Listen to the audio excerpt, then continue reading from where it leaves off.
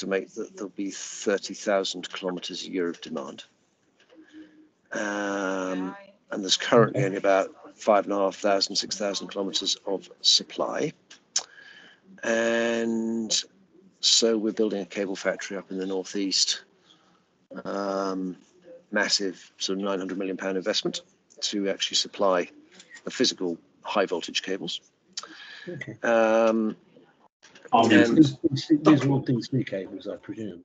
yeah, these are these are very big cables for either undersea or or, or sort ma- mass mass transport of electricity across the land.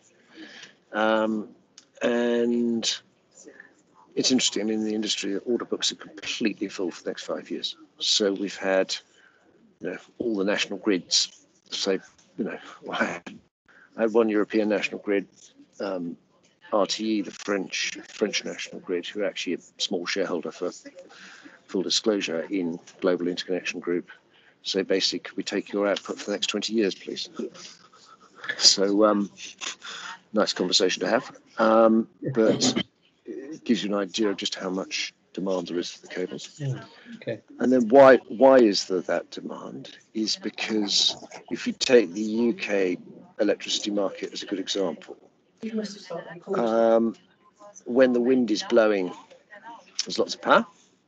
When the wind's not blowing and the sun's not shining, there isn't. And therefore, you need to import, whether it be French nuclear power, Norwegian hydroelectric power. So Or- to the uh, undersea cables through France and England. Yeah, exactly. And then there's undersea cable to Norway, and then we're building an undersea cable to Iceland to bring in geothermal power and hydroelectric power from Iceland. So um, massively important for grid security, energy security, because um, otherwise the lights go out. And the, the reason uh, I asked you, uh, interesting.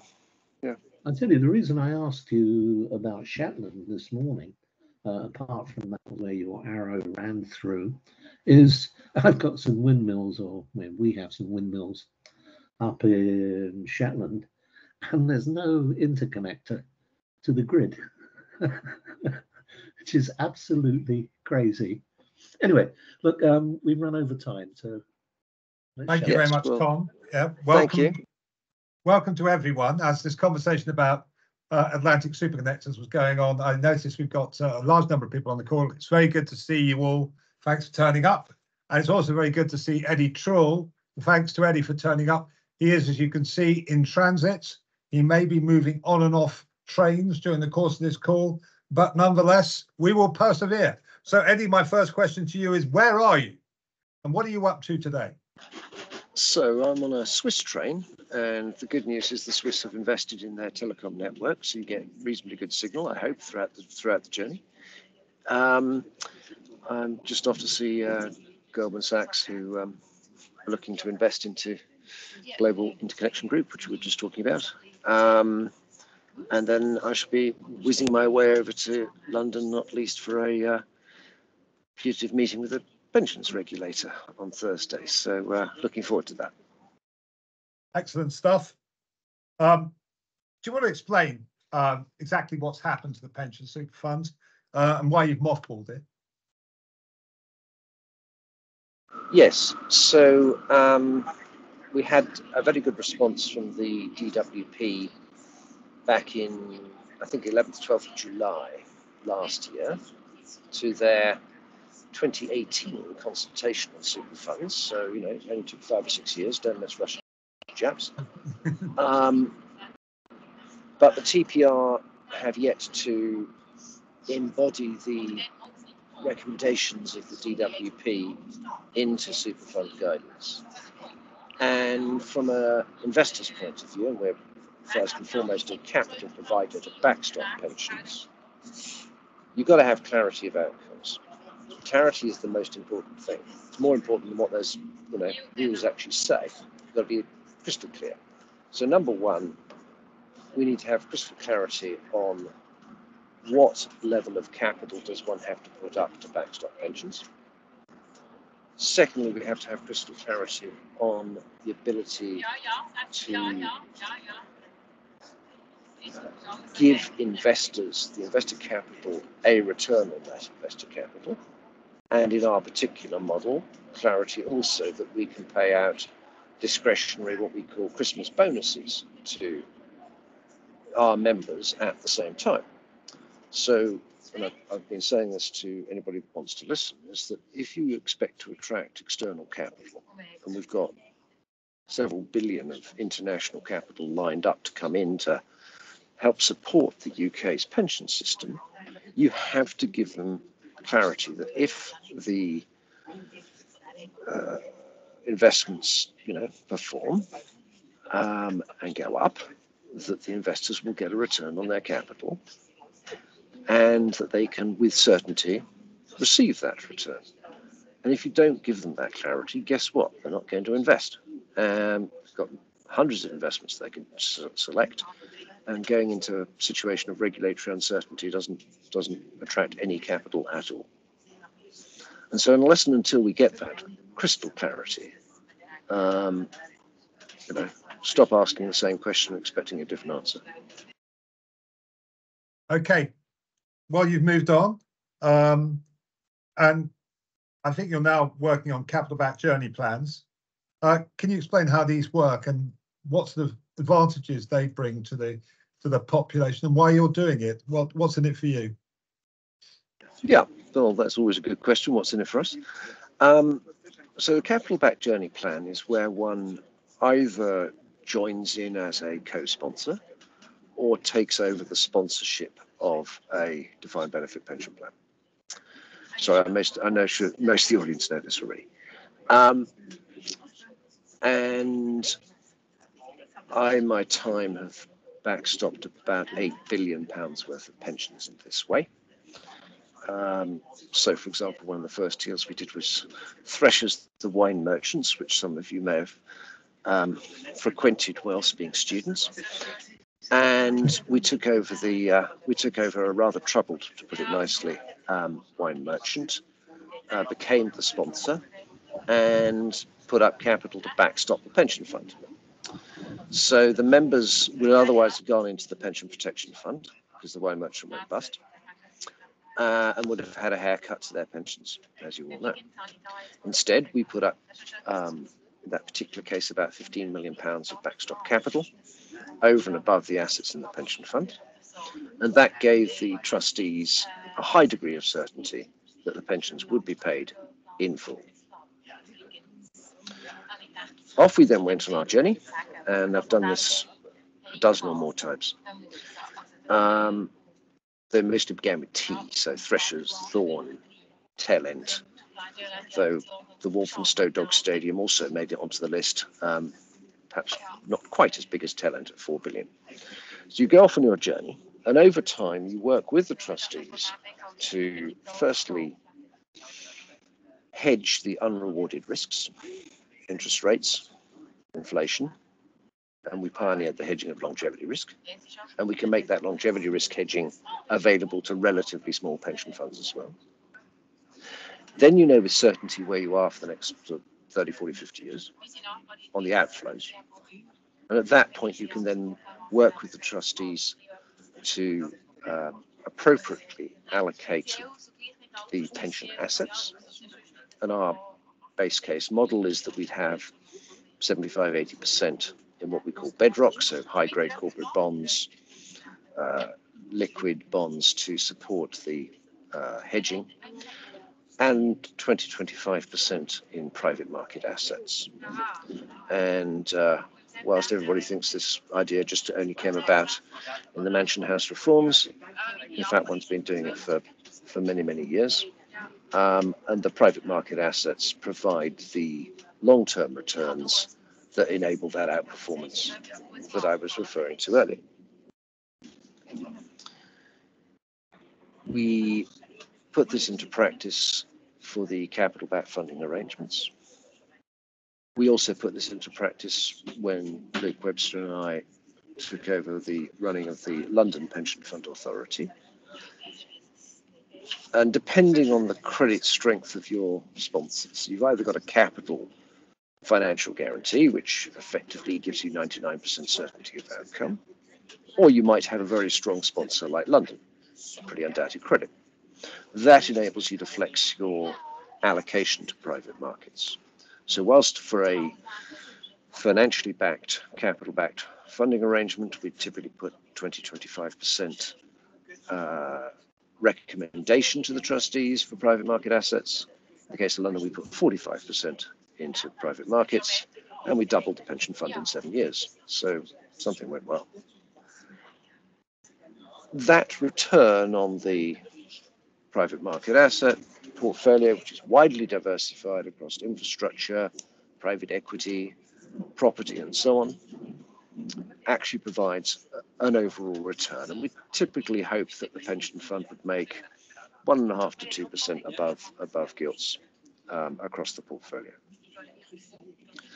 That two percent, for sake of argument, above above gilts, uh, would then be shared between the investors who put up the backstop capital and the members. Um, so each year we do the calculation. That two percent of outperformance would uh, would be split in, in in a fair proportion between investors and paying people a Christmas bonus. Thanks very much for that, Edi. Um, I should say to anyone who's on the call, put your hand up digitally if you want to ask any questions at any stages. I'm going to ask a few more questions of Edi as we go along, but don't worry about interrupting me or indeed Edi. Uh, point of the call is to try and get as much out of it as you can, as well as um, give Edi an opportunity to explain what's going on in the world of pension super funds. Um, okay, the, the third thing, which I'm very interested in, is the work you're doing trying to help DC members turn their pots to pensions. Um, can you explain a little bit about Pension Superhaven? Yes, indeed. So this, uh, the genesis of this idea was us with the great help of, of Henry and Steve and, and others trying to help come up with a solution for the hapless British Steel or ex-British Steel pension fund members, seven, eight thousand of them, who were transferred inappropriately out of the British Steel defined benefit pension scheme, and we've got sort of personal pension pots, plus or minus uh, some restitution from the uh, financial services compensation scheme for being inappropriately transferred out. What we believe those members, those people want is basically a pension for life. If they have a pension life that's, that's absolutely certain, and on top the opportunity to make my famous Christmas bonus, then they're in a very good position because they've got a lifetime pension. It doesn't matter whether they live to 80 or 105, they get their pension for life, 99% certainty of being paid. They're still a member of the Pension Protection Fund, so uh, in the that sort of extremely unlikely event that, uh, for whatever reason, the pension didn't get paid in full, then they can um, have the safety of the PPF, which I think is probably rather better than the financial services compensation scheme, and off they go. Where Now, we've moved, Can, can- sorry, can you get this from an annuity though, Edi? I mean, is, are there financial advantages to doing it this way rather than buying an annuity? you can always buy an annuity uh, if you wish. Um, firstly, on the calculations that we've come up with, you'd probably get 10, 15% more pension, certain pension, than you would get from an annuity. So instead of getting £9,000 a year, you get £10,000 a year, or whatever it is. Secondly, you've got this opportunity to share in the outcomes. In the old fashioned words, a with profits annuity, but done properly. So um, you've got with profits certain pension. And we think that shared outcomes is very important. Um, and then also you can do this on a deferred basis so that you could be uh, 40 years old and decide to essentially put some money aside, um, either as a single lump sum or a regular contribution, to essentially buy yourself a pension. A bit like making a contribution to a standard occupational pension scheme. And that is exactly what this is. This is a standard occupational pension scheme into which members can, can contribute um, transfer in their their current DC pension pot. So you move your DC pension pot across uh, and actually get a guaranteed, you know, certain outcome. Excellent stuff. Um, and when are you expecting this will be available to the general public, Edi? So we're working hard on it, um, and we've spent ooh, a year and a half, two years with regulators in particular, socializing all of this. Um, I think it has been uh, well received by by the regulatory world. I mean, after all, it's a standard occupational pension scheme, so there's nothing new about it. Um, won't surprise you that the insurance lobby has sort of tried to brief against it. Um, haven't actually come up with any good reasons so far, but um, we're just going to keep pressing on. So what we're making sure is that we're putting in place, with the help of people like like AgeWage, the the proper front end advice. And it's really really important that um, pensioners thinking of transferring across have got very clear, transparent comparisons. So you raised know, buy an annuity, well, how much would you get from an annuity? So go and get an annuity quote. How much would you get from Pension Super Haven? Get the Pension Super Haven quote. And then you can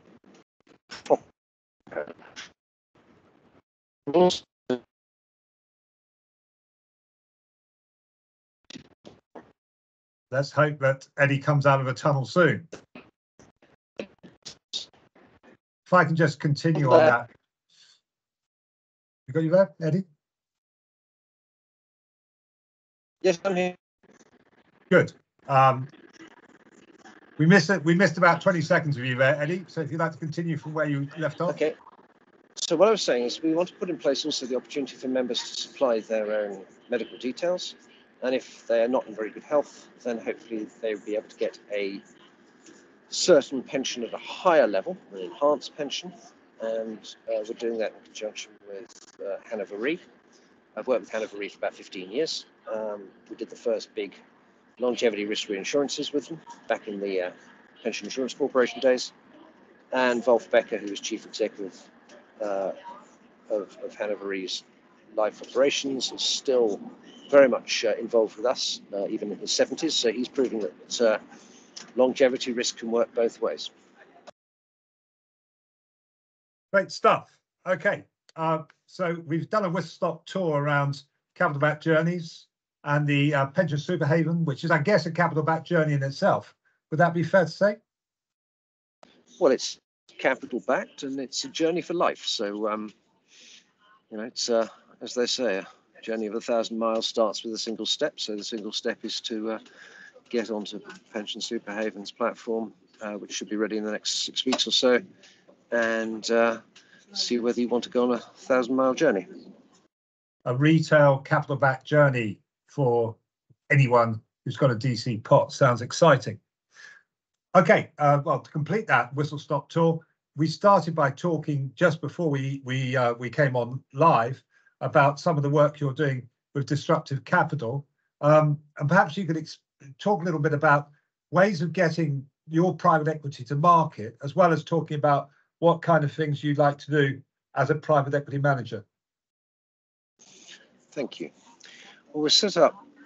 my late brother Danny, who was chief investment officer at Wellcome Trust, and then at CIO, and then at uh, Pension Insurance Corporation, um, and I set up a charity called Truell Conservation Foundation in 2005.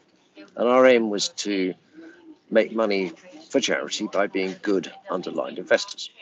So everything we've been investing in since since then has been positive impact, and not just E but S and G as well. Um, so we've got a long heritage there, and actually I started in 1984 uh, in private equity, so um, have an even longer heritage there, and it's been a successful journey. Um, managed to make about 29% per annum over 30 years. Obviously, some downs as well as ups along the way, but it's been it's been a wonderful journey. What we're looking to do and, and have been doing out of uh, Disruptive Capital, which is this charity-owned uh, investment manager, is to first of all, create a company to address a much to, to address the market need, long-term market needs. So we were using it's now Global Interconnection Group as a good example. So, you know, 10 years ago, one could see that nuclear power was, was going to fade out. One could see that fossil fuel gener- electricity generation was bad for the climate and that one needed to address the looming energy crisis. So we put an excellent management team together and we started to address that by starting work on the uh, all the feasibility studies and so on to build these massive interconnector cables to bring clean power, zero carbon power to the UK when required. I'm just using this as an example of what we do.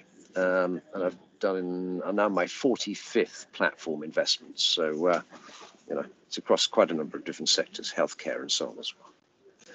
And then you buy, build, and transform.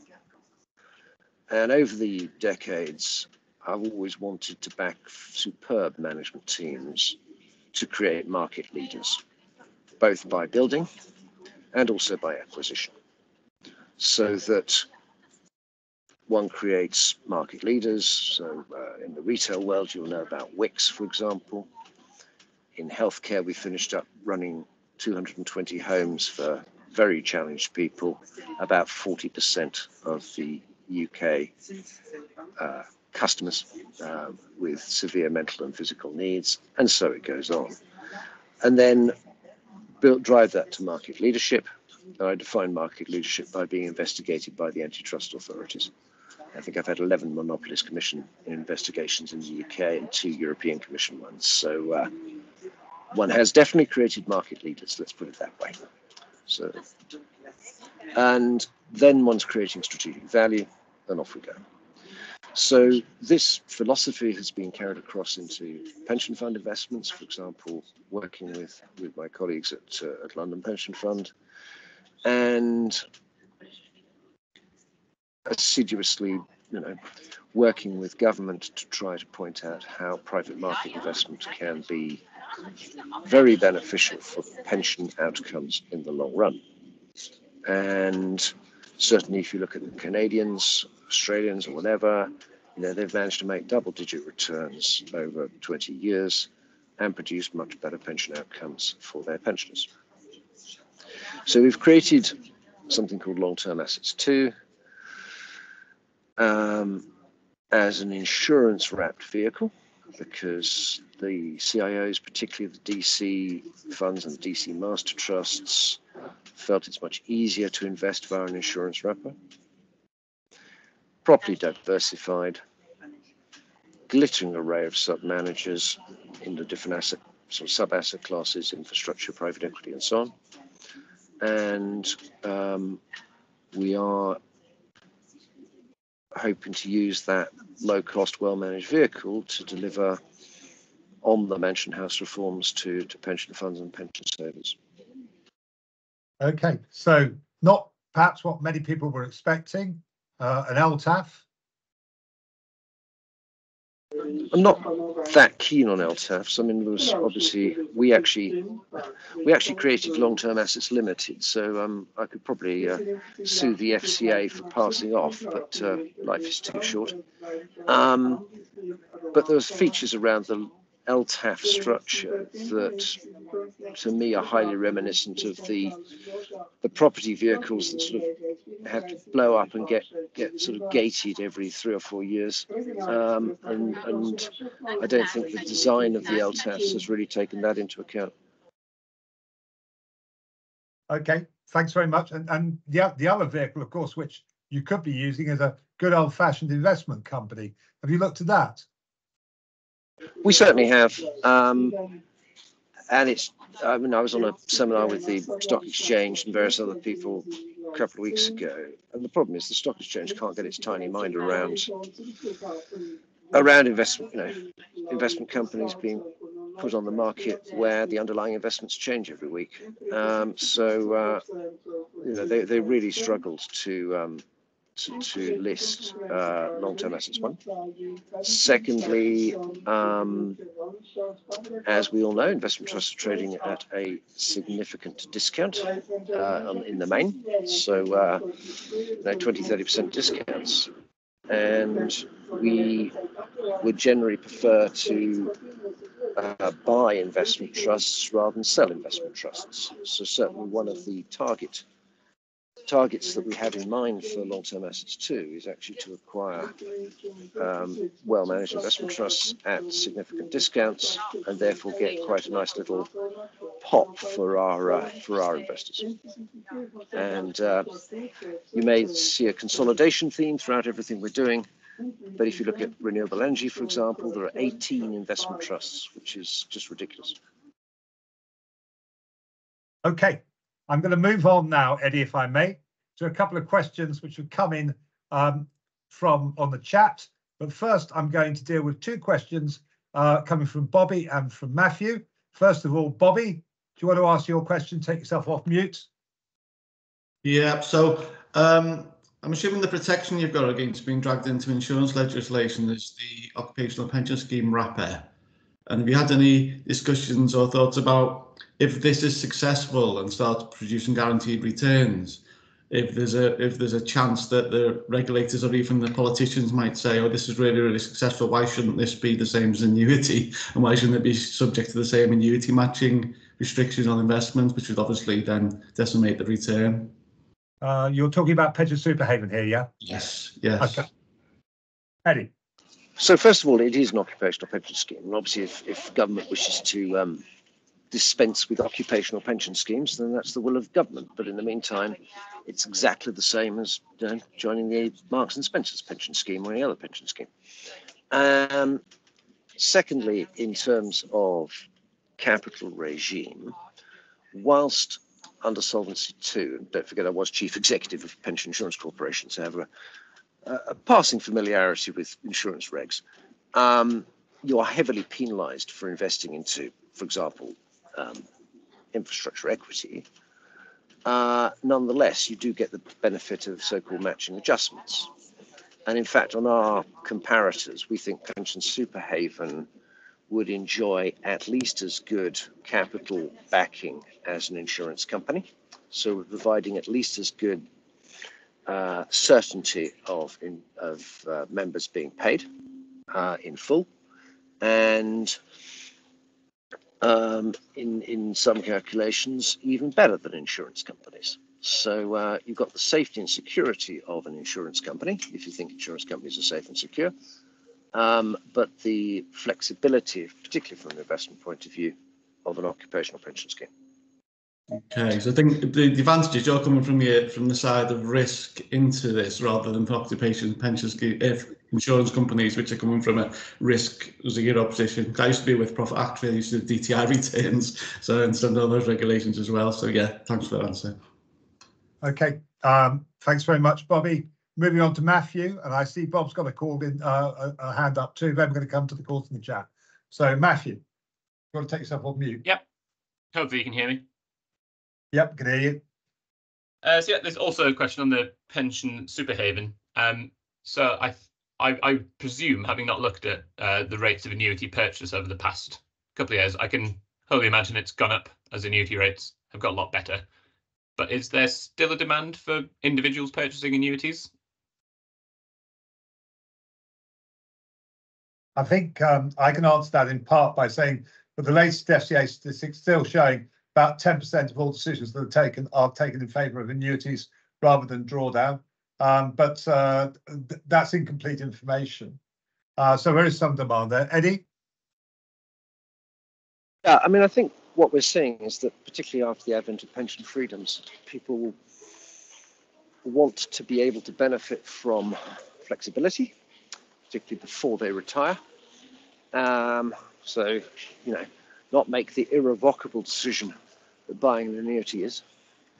Uh, secondly, they want to continue to participate um, in the investment market rather than buying what is effectively a fixed gilt. And therefore, you know, if Henry says 10%, it's probably about right. Um, ninety percent of people don't want an annuity. Should add that the scheme pension itself is an irrev- irrevocable pension. So splitting your money between a scheme pension and drawdown in cash is the way forward. Uh, but obviously there is demand for guaranteed income out there. We we think probably more so. Um, I I I, ha- I have to use the word we here and declare an interest because I do help with the marketing of PSH, as most of you know. Um, I'm going to move on. Does that answer your question, Matthew? Yep, yeah, that's grand. Thank you. Uh, Bob. I'm muted. Uh, Edi, Bob Compton here. Quick question for you on pension superhaven, which I think is a great idea, by the way. Um, it's occupational pension scheme. How do you get around the issue that anybody with a DC pot transferring in needs to be an employee of the P- pension super pension superhaven company? How do you get around that problem? Yeah, so we spent a lot of time on that one, and um, you know, we're, we're, we won't be having sort of three hundred thousand employees. You'd be pleased to hear for more than about uh, than more than about a week. So um, it's uh, you know you you can be a a very um, gentle employee. Let's put it that way. Okay. Yeah. The trust deed and rules, uh, Bob, does allow people to make a contribution without physically having to be paid. Okay. Excellent. Um, okay, I'm going to move to one or two questions. Unless somebody wants to open their gob now, put their hand up and have a, have a conversation. No? Okay. Um, so Bob's question has already been answered. Um, a question for Nicola. Do you want to ask that in person, Nicola? or Would you like to ask it for you?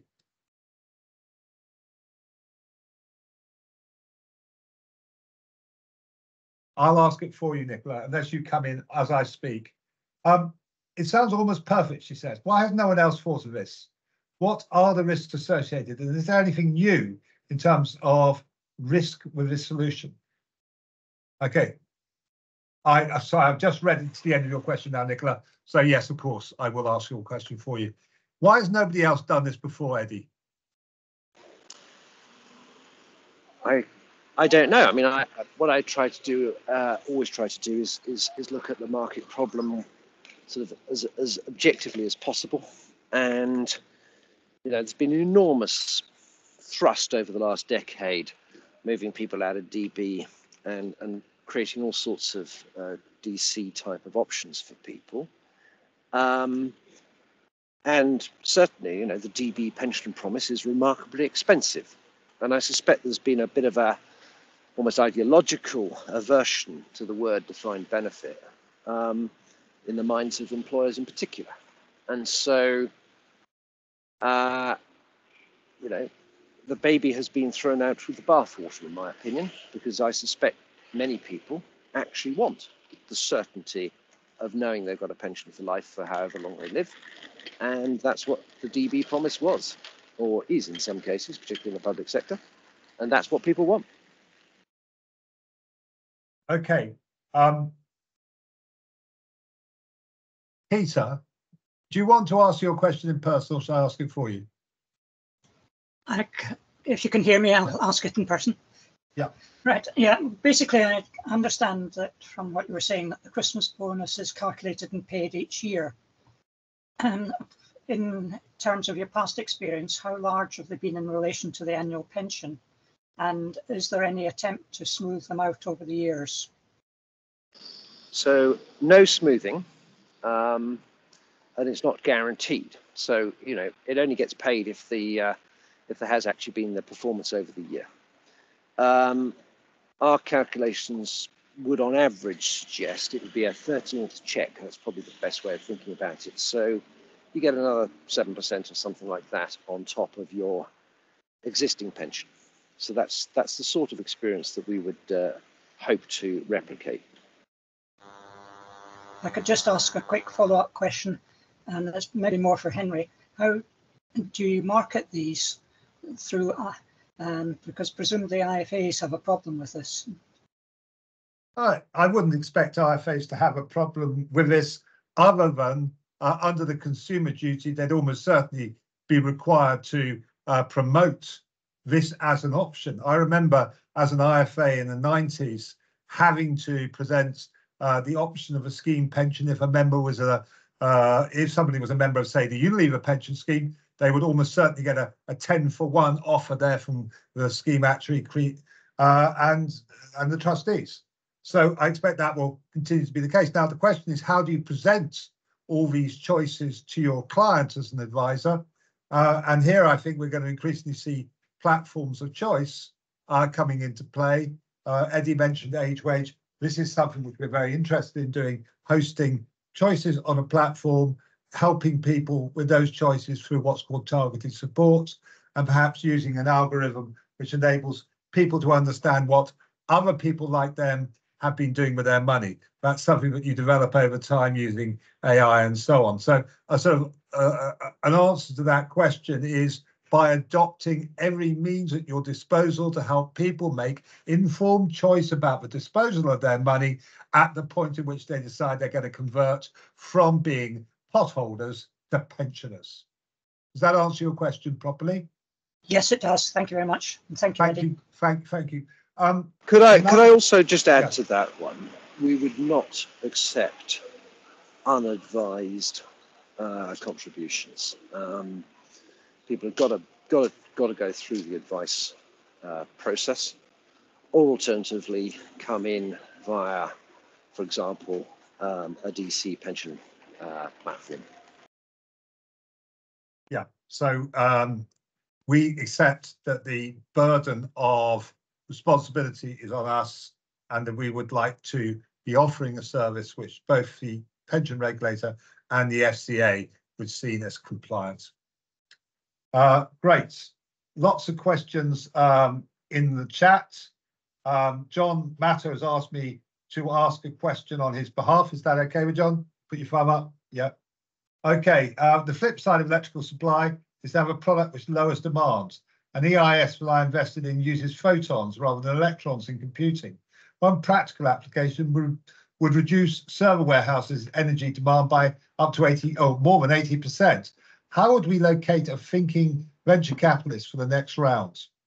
So what advice can you give to John about getting venture capitalists involved in his venture? That perhaps is a, a leading question. So there's quite a lot in my sort of venture capital experience. There's quite a lot of money around for relatively small checks, sort of one to five million. Uh, EIS is an excellent route, and there's some good sort of EIS managers around, and I recommend you start with those. Where we found a big gap in the market is if you want 20 or 30 million, it's sort of too big for the venture capital community in the UK. Um, and the companies aren't well enough developed to really attract the private equity companies. So that is a big gap there. In certain sectors, particularly life sciences, um, we're working with people like uh, Kate Bingham's SV Life Sciences. They are very much the sort of sector champion in that area and can write.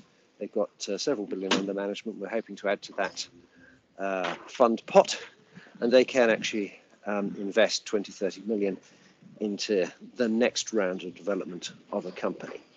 Um, on the technology side, uh, we're good friends with Anne Glover's Amadeus, um, what I would describe as a deep, deep tech venture capitalist.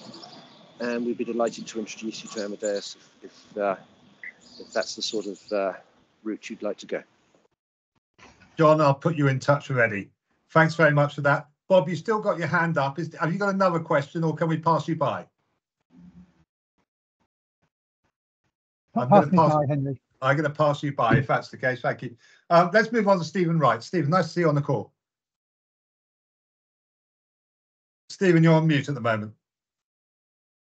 I beg your pardon. I was trying to keep out of the, the discussion. Uh, yeah, um, I was wondering a sort of different perspective on what you're talking about with these, various super funds and platforms.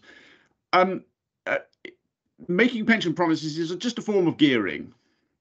Uh, you know, you're making long-term commitments at, at, at a fixed rate. You're making risk-free promises, Uh, and then, uh, you know, you're hoping to make money by investing in in higher yielding assets, which is just a form of financial intermediation. That you know, that's a. I mean, on paper, it sounds like a a, a, a nice, plausible story.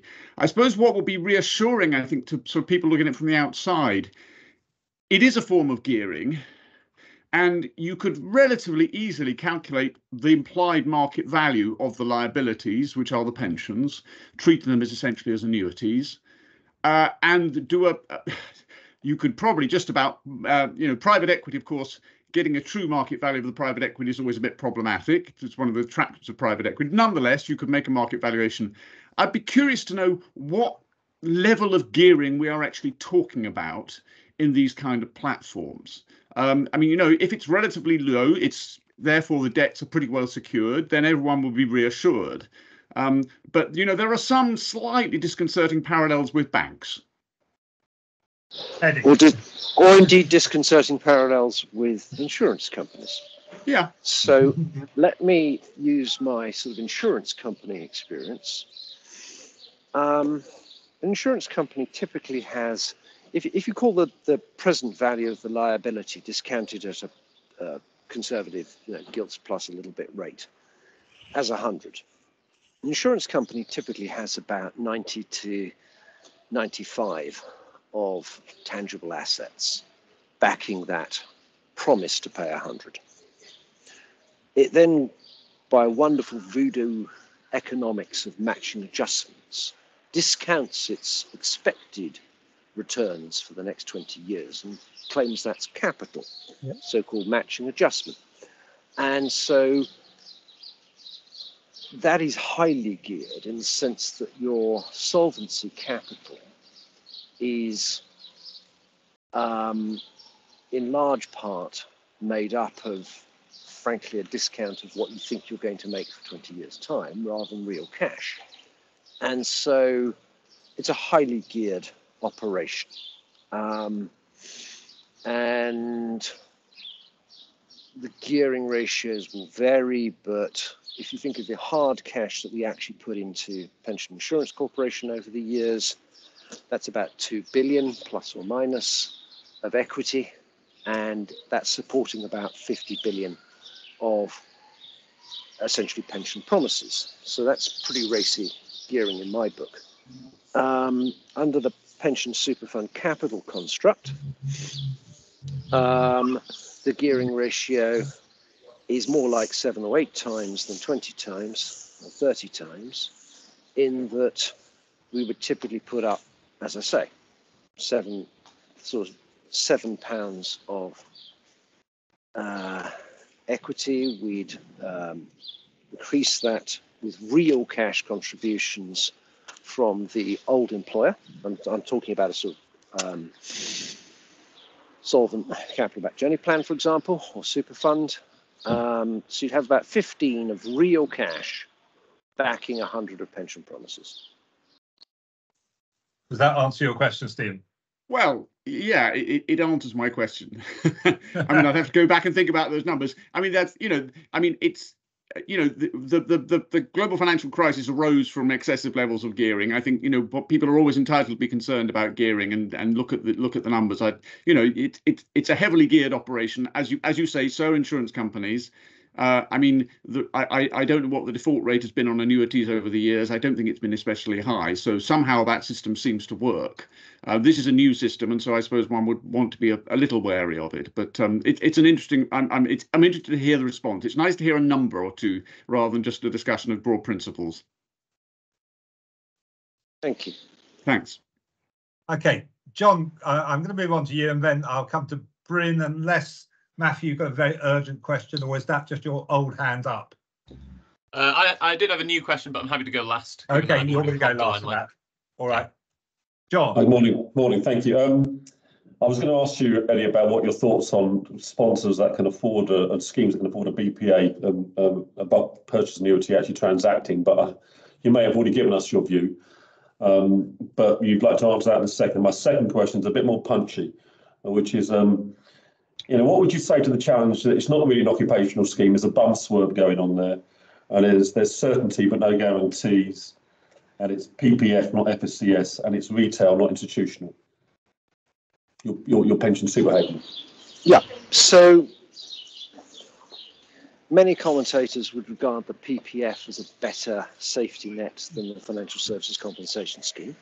But uh, there are many experts in this room, so I would hesitate to uh, be too definitive about that.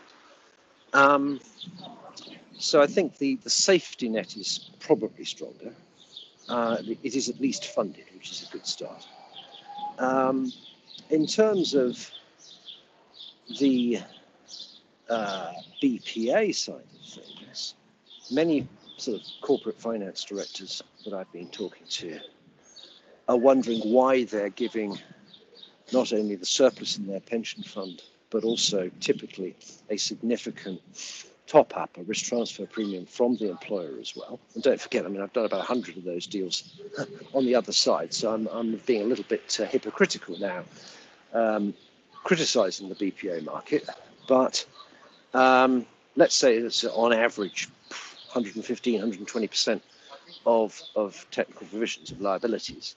You know, that is a big transfer from the pensioners and from the corporates to the insurance company's shareholders. Um, I would like to suggest there's a better way, which is to work with people like ourselves to say, right, um, firstly, it might cost you less to start with.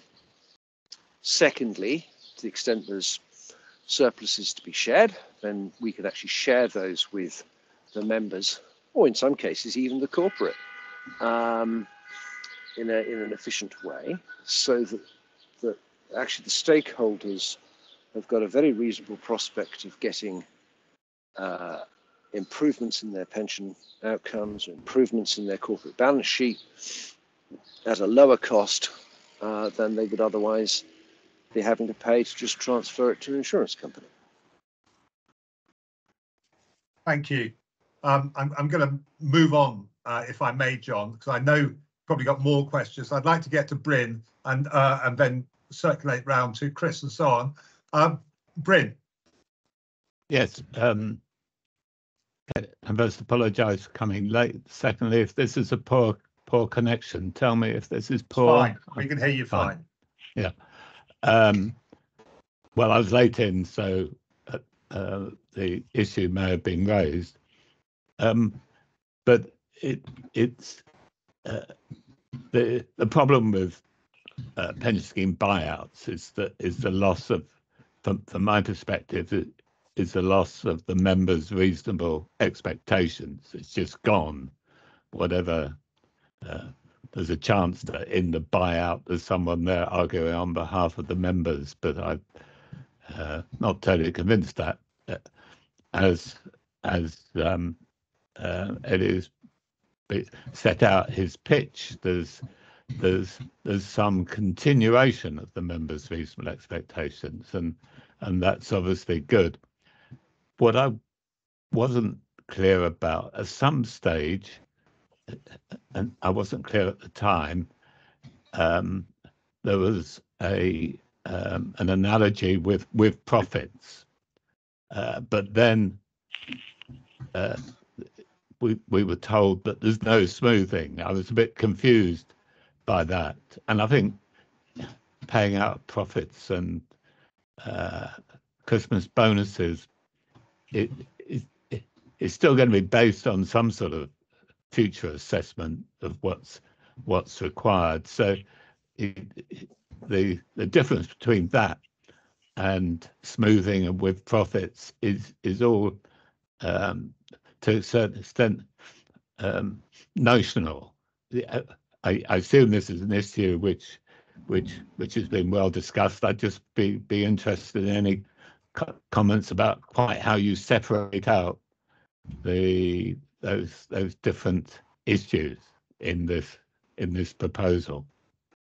Yes. So, so first and foremost, you've got to make sure that the capital backing is at least as big as as as as, as demanded by the regulator, 99% certainty. You then have a extra buffer on the buffer. So let's say you go from 99% certainty over one year to 99% certainty over five years, as an example um, and then you only pay out profit above that level. Um, so you're safe and secure. Then you're sharing the sharing the positive outcomes, and we've looked at smoothing, but we the problem with smoothing is is I think you get a lot of intergenerational unfairness with smoothing. I mean, if you happen to be around at the end of the game, your quid's in, but along along the way, people may die or move on, and they won't have got the full benefit of the outperformance, and therefore it's a bit of a tontine in some ways. Um, and we don't think that's a we don't think that's fair. But I mean, I welcome I welcome your your views on that. Bryn, do you want to come back on that? Yeah, yes. I, I think technically, I don't think there's a difference in principle between smoothing and having safe reserves. Ultimately, they're they're the same thing. Um, particularly if you're paying out money interim. The difficulty comes when when people want to take their money out pre pre retirement. Uh, again, you have to take a, a view as to what the members' share is at that point. Uh, and there's I, I, I, I don't accept that there's that clear a distinction. You're saying you're not doing smoothing, but you are doing substantial profits, and uh, it's, Mhm. it's uh, I think ultimately Well- the same thing, haven't they? Possibly. I mean, what we, I mean, the world's moved from, I mean, when I, I, I was first appointed as director of the bank, we didn't, we, we were allowed to have hidden reserves. We didn't have to actually Mm. declare to the market or the regulator, well, we did to the regulator, but not to the market, what, um, what our profits actually were. We just made them up. And the with profits regime was not dissimilar. Uh, in today's world, you know, basically it's all mark to market if you if you if you take that analogy.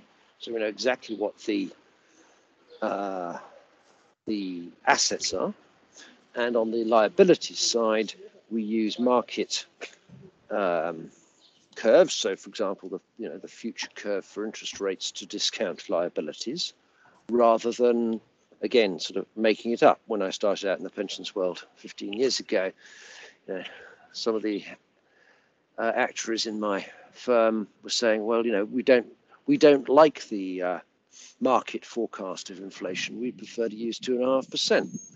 And I said, well, that's fascinating, but if if the market thinks inflation is going to be three percent, then that's the number as far as we're concerned.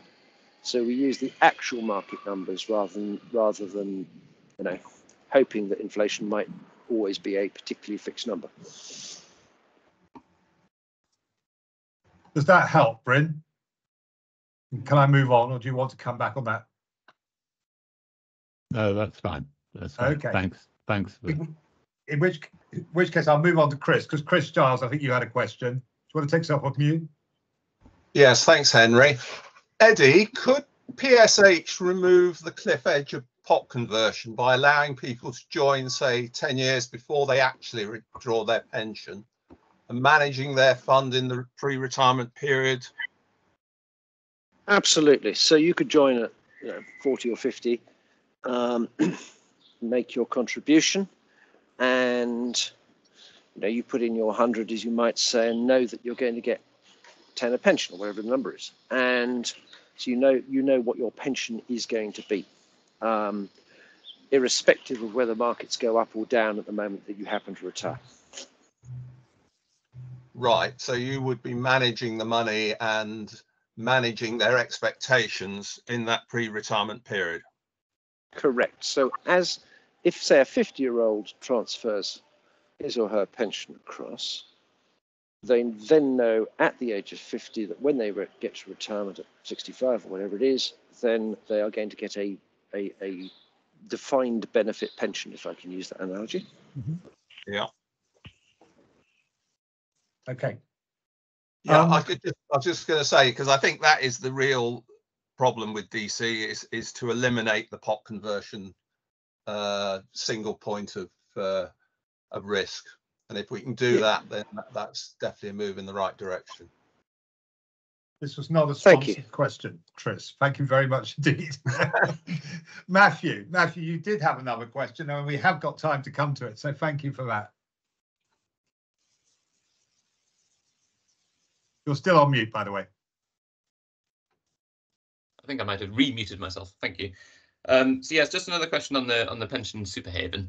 Um, thinking about where the sort of demand's going to come from. So of those, the 10% of, uh, of of retirees who purchase an annuity, I can see that a lot of those would be DB members, say, who are forced to speak to a, an advisor and get some advice before they do anything with their their pension, and then the advisor has to tell them about annuities, and they say, "Oh, actually, that's quite a good idea, and I'll go and do that," which isn't something that would occur in the DC world because I don't think there's any obligation if you've got a 30 grand or 50 grand DC pot to to get any financial advice, and so you might never hear about such a service. Uh, and similarly, it might not be something that uh, pension plans have in place where you speak to a financial advisor if it's a DC DC pot. So I was just wondering if you have spoken to large IFA firms, seen what they think. Uh, is this on their radar? Is it the kind of thing they'd be happy to recommend and the kind of thing that they would want to know more information about? And similarly, if you've spoken to pension plan providers themselves or or consultants about how this additional option might uh, might go alongside the traditional retirement options. Indeed. So on the IFA side, another part of the forest, we're taking over a business called STM, has about 7.7 billion pounds of pension savings. Uh, all sorts of wrappers, you know, SIPPs and SSASs and master trusts and all sorts of things.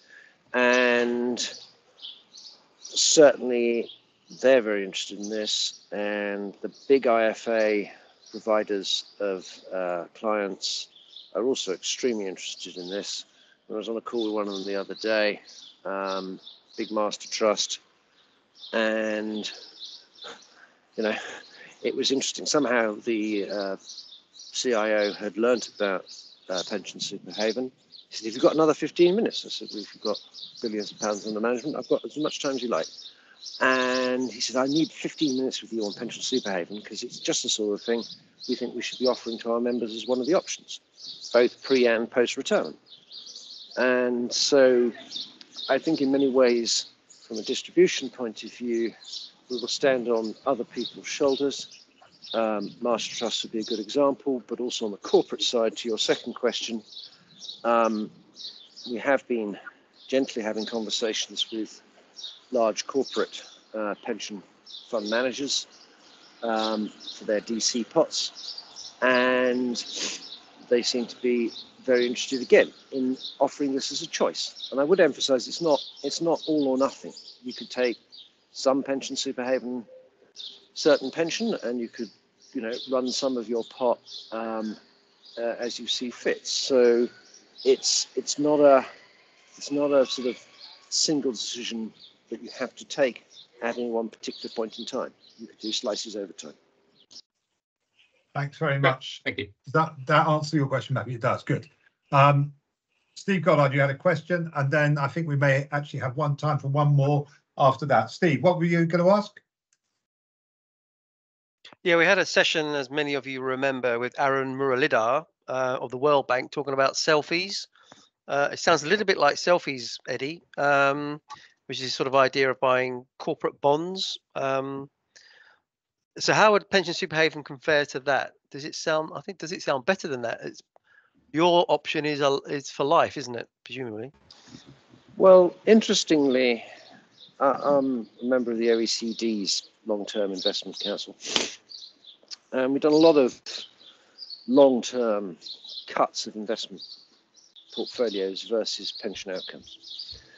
And I can say over a long period, 100% of the time, an equity portfolio will outperform a bond portfolio and give better outcomes. So, I mean, because these are typically 50 year time series, you know, it was pretty simplistic in the sense it was bonds versus equities rather than thinking about private equity and other things as well. But 100% of the time, equities outperform and provide better outcomes than bonds do. Um, and that's irrespective of the fact that markets, you know, can go down quite sharply at times. I mean, in 0809 equity market went down about 40%. But then I only need to show you the uh, long dated index linked gilt uh, chart of the last two years for you to know that, you know, frankly, you'd be better investing in sort of African gold miners than the index linked gilt. One final question's coming from Peter Cameron Brown. So I know it's the second time around, but it's a good one, Peter. Um, I'll ask it for you if I may. Is there any minimum pot size requirement? Well, we haven't we haven't actually determined that yet, have we, Edi? Um, but my thinking is lower the better because all you're doing is paying people a pension, uh, and why not help those people with small pots out? Um, Edi, I don't know if you've got any thoughts on this. It's, it's something we discuss from time to time. Yes, I mean, sort of, um, you get that sort of trivial commutation you, whereby, um, you know, if you've only got a ten thousand pound pot, frankly, the administration costs will eat up returns. But um, certainly, uh, the way we're looking at this is is very much as a um, collective pension scheme, and you know, most pension funds have got people with with relatively small pension entitlements, and just because you've got a thousand pound a year pension entitlement, you know, doesn't mean you shouldn't get your pension. The systems are all there with pretty low cost to actually administer pensions these days. Um, you know, fourteen pounds a year or something like that. So, as far as we're concerned, it, we should be open to uh, all comers. Um, obviously best advice if you've only got 100 pounds is probably just to take it um, but uh, the systems are up and running to to be able to take in big pots and small pots On that happy note, uh, I'm going to ask uh, everyone to uh, put their hands together and thank the itinerant and peripatetic Edmund Truell uh, for his fine performance while on the train. Thank you very much indeed, Edi. Um, well thank you everybody very much from me as well because really really good questions. Um, what i love about these sort of sessions is that actually by listening carefully to the questions uh, we can um, improve the product improve the products plural and hopefully provide better solutions. So uh, i'm very very grateful to everybody for their time. Uh, and those who want to get in touch with me, and I can put you in touch with Edi so you can know him at your convenience. Right. Um, Bo, over back uh, to Steve now, who's going to round off. I think you've got some news for us, haven't you, Steve? Uh, yeah, Um, just to say uh, thanks to Edi again, fantastic session. And we have first actuarial next week talking about DB liabilities and I think DB transfer update. So if you can join us next week, that'll be fantastic on the uh, pension playpen. Um, today's video will be up and running within about an hour or two from now onto the pension playpen site. And uh, as usual, we want to pray for peace in the East and peace in the Middle East, um, which I cannot believe we're still saying in February 2024. So uh, let's hope um, we get some, um, you know, positive news um, from those regions which are shockingly bad. Uh, and thanks everyone to joining today. If you love Playpen, please join. Uh, if you're already a member of Playpen, please share um, on the invites friend tab uh, and invite other friends and colleagues to join as well. Um, but uh, we really thank everybody's time today. Fantastic session. Thanks to Edi, thanks to Henry, and thank you for your input and questions. Uh, hope you enjoyed it, and um, hopefully you'll make the next one next week. So See thank you very much, everybody, and uh, be safe. Be safe. Yeah. Okay. Take care. Bye. thank you so much bye bye Cheers, Edi. Thanks. Bye.